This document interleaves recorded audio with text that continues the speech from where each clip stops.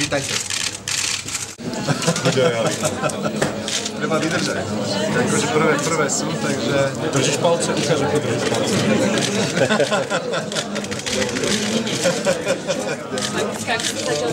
No niečo som počul.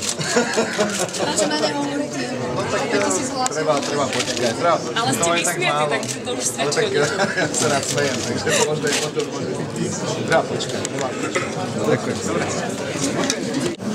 Zatiaľ sú tie výsledky výborné a treba počkať na ďalšie hlasy. To je teraz, podľa mňa to budú zbytočné špekulácie. Nech sa páči.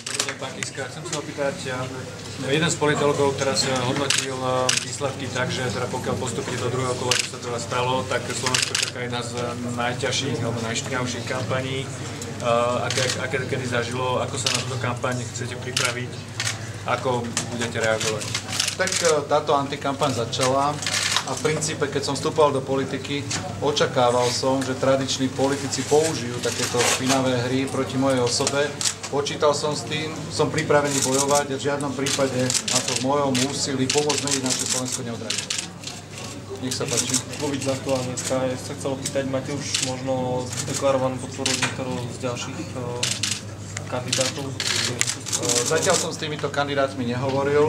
Ja verím, že tak ako slúbili, svoju podporu dajú a verím, že to spolu, tú zmenu za to Slovensko dosiahnu.